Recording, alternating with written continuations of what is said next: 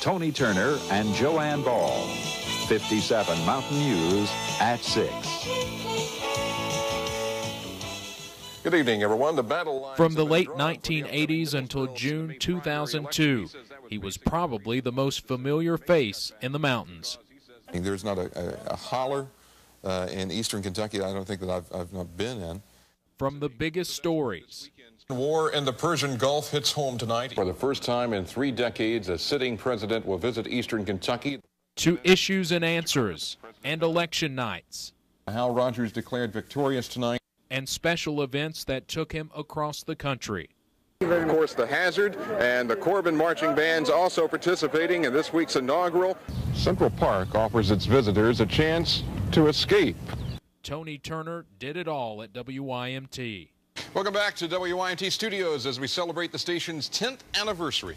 and he had fun doing it. Susan, I'll ask you a question. Did you ever think that the chair that you're sitting on could be a part of uh, history someday? No. Yeah. Well, the furniture. It's that laugh and many other qualities that those of us who knew Tony personally still miss every day. But Tony was not only our boss, he was a friend, son, brother, husband, and father to Courtney and Cameron, who were just kids in 2002. I interviewed Courtney a few months after she lost her dad. I just miss everything about my dad because he was um, a good person and a good dad to me and Cam. Ten years later, Courtney and Cam, who both look so much like Tony, have grown up. Courtney just graduated from high school and will study broadcasting at Eastern Kentucky University in the fall. She recently received a scholarship from WYMT named in her dad's honor.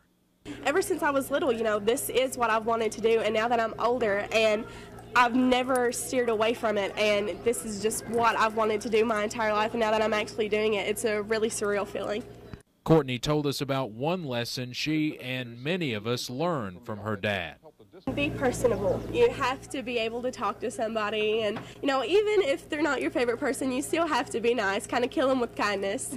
And who knows, in a few years, there might be another Turner in the hollers of Eastern Kentucky bringing us the news.